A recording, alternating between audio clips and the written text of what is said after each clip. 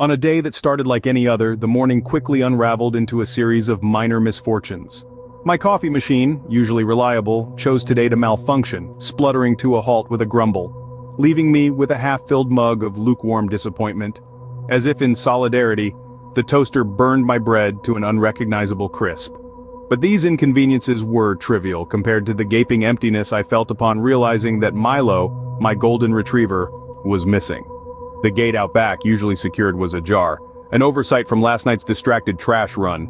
As the day progressed, it only spiraled further. Every street corner whispered his name with no answer. Every park echoed with the ghost of his barks. The community rallied, eyes peering under bushes and behind bins, but dusk approached with no sign of him. My home felt alien without Milo's joyful chaos, his tail thumps against the furniture, his quiet snores from his favorite spot by the couch. Exhaustion took hold and as I finally succumbed to sleep my mind refusing to shut down conjured a vivid dreamscape.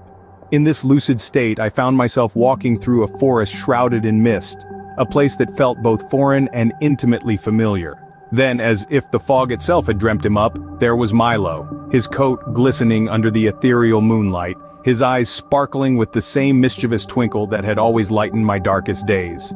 Our reunion was surreal. I ran to him and he to me and when we met his weight against my chest and his happy bark filled the void the day's anxiety had carved in my heart. We didn't speak, no words were needed. Our connection, transcending the bounds of reality, communicated everything. He was okay, he was safe even if not physically with me. As we walked through the dream, a path lit by the silver glow of the moon, Milo seemed to lead me, showing me scenes from his adventures, chasing spectral butterflies and frolicking in celestial meadows. The dream's tapestry wove scenes of joy and surreal peace, blending past memories with the ethereal present. As dawn's first light crept into my room, the dream gently loosened its hold. I awoke to a world less colorful without Milo physically in it, yet the vivid memory of our reunion brought a new sense of comfort. The pain of loss lingered but was tempered by the assurance that Milo's spirit was still vibrant, exploring realms beyond my reach. As I rose from bed, the residue of the dream clung to me, a warm blanket woven from threads of solace and sorrow. I moved through the day with a lighter step, the weight of grief lessened by the night's ethereal journey. Though Milo could no longer share my physical space, the bond we shared was unbroken, merely transformed. In quiet moments I could still feel his presence, a comforting echo in the chambers of my heart. Days turned into weeks and weeks into months. The pain of loss gradually gave way to acceptance and a new normal. The emptiness that once echoed in the halls of the house was slowly filled with the subtle sounds of life once again. The chirping of birds outside the window, the sound of rain tapping on the roof, even the hum of the refrigerator became a comforting symphony of normality. I found joy in small things, like the aroma of freshly brewed coffee in the morning, the warmth of the sun on my skin during an afternoon walk, or the satisfaction of a well-cooked meal.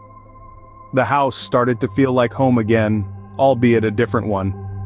The memories of Milo were no longer a source of pain, but a treasure chest of precious moments, always there to revisit when I needed a reminder of our shared love. And then, one day, a new chapter began. I brought home a puppy, a tiny furry bundle of joy and energy.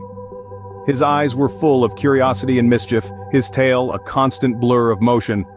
He was not a replacement for Milo, for no one could ever take his place but a new companion, a new source of love and laughter. The puppy, whom I named Max, brought a different kind of chaos to the house. Toys scattered on the floor, tiny paw prints on the kitchen tiles, the occasional accident that required cleanup, but this chaos was welcome, a sign of life and energy. It was healing in its own way, a balm to the still lingering wounds of loss. His presence was a new beginning, a promise of shared adventures and unconditional love. And in his eyes I could see a reflection of Milo, a reminder that while life moves forward, the bonds we form are timeless and unbreakable. Even as life moved on, Milo's memories remained etched in the corners of the house and the chambers of my heart. There was a certain comfort in reminiscing about the times we spent together. The way he would wag his tail when I returned home, his playful antics in the park, his gentle snores as he dozed off at my feet while I read. I could almost hear his soft woof of greeting when I opened the door, almost feel his warm weight against my leg as we watched TV together. The new puppy, Max, brought his own charm to the house. His boundless energy, his curiosity about every nook and cranny, his tiny bark that sounded more like a squeak, all brought smiles to my face. But they also triggered memories of Milo. The way Max tilted his head at a new sound reminded me of Milo's inquisitive nature. His clumsy attempts at climbing the sofa were a throwback to Milo's own puppy days. His excited yelps when I prepared his food brought back memories of Milo's impatient dance around the kitchen. But it was in these moments of reflection that I realized something. Milo was not physically present, but his spirit lived on. In the warmth of the afternoon sun that he loved to bask in, in the rustle of the leaves in the park where we used to walk, in the comfort of the home that we had shared. His memory was a constant companion, a thread that linked the past to the present. Milo was not just a pet, he was family. His memories are not just reminders of what was, but a testament to the love we shared. They are a part of this home, woven into its fabric, and as Max grows, he too will add his own threads to this tapestry of memories because that's what family is, a collection of shared moments, of love, of laughter, and yes, of loss, but most of all of enduring bonds that time cannot erase. And in that sense Milo is still here in the echoes of his laughter, in the warmth of his memories, and in the love that he left behind. Change is the only constant, they say, and life is a series of adjustments. I found this to be true as I navigated my way through the shifts that Max brought into my life. With his lively spirit and his insatiable curiosity, he turned my world upside down. And yet somehow, he also managed to set it right. Max's playful barks echoed through the house, filling the silence left behind by Milo. He had a knack for finding trouble, whether it was tangling himself up in the curtains or knocking over the trash can. His antics were a constant source of amusement, a welcome distraction from the lingering sadness. I watched as Max grew, his legs getting longer, his bark deeper. His clumsy puppy gait gave way to a confident stride, his tiny whimpers transformed into assertive woofs. His growing pains were my growing pains, his triumphs my triumphs. With every new day, he learned something new, and so did I. I learned to let go of the past and embrace the present.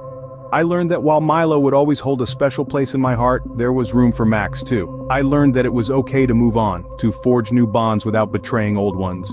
Max's boundless energy was a stark contrast to Milo's calm demeanor, his playful nature a sharp departure from Milo's mature wisdom, and yet, in his own unique way, Max was just as endearing, just as lovable. As I watched Max chase his tail in the yard, I felt a sense of peace wash over me. The loss of Milo was still a tender wound, but Max's presence was a soothing balm. I realized that this was the cycle of life, of love and loss, of joy and sorrow. Milo was gone but his memory lived on. And now, Max was here, adding his own chapters to the story of my life. Life goes on, with or without us. And in the grand scheme of things we are but fleeting moments in the universe's eternal dance. But in those fleeting moments, we love, we lose, we laugh, we cry, and in the process we create memories that outlive us. They become a part of the tapestry of time, and in that sense we are eternal, just like Milo, just like Max, just like love. As the sun set on another day, painting the sky with hues of orange and pink, I found myself smiling at Max's antics.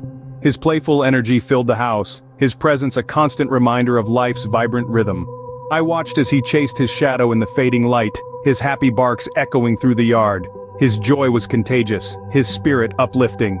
Max was a bundle of love, wrapped in fur, and his love was a gift, a beacon of light in the darkness. As I watched him I felt Milo's memories warming my heart, his love still a part of me. Through Max I was learning to find joy in the present while cherishing the past. His curiosity, his zest for life, his unwavering loyalty, they were all reminders of the beautiful bond that humans and dogs share. A bond that transcends time and space that endures even in the face of loss. Every day Max and I grew closer. His antics filled the house with laughter, his love filled it with warmth. He was not just a pet, he was family. And in his eyes, I saw a reflection of the love that Milo had given me. The love that I had given Milo. It was a comforting thought, a poignant reminder that while people and pets may come and go, love endures. It's a cycle, a beautiful cycle of love and loss, of joy and sorrow. As I watched Max chase his tail in the yard, I realized that in the end, it's not about the pain of loss, but the joy of having loved and been loved in return. And in that sense we are all part of the same cycle, all part of the same story. Milo was gone, but his love lived on, and now Max was here. adding his own chapters to the story of my life. The cycle continues and with it the journey of love and life.